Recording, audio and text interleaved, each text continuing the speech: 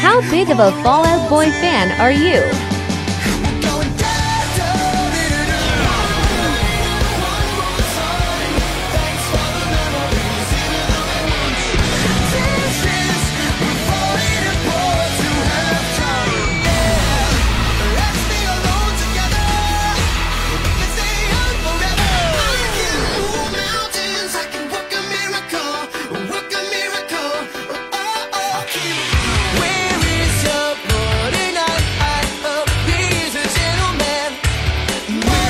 just dropped it.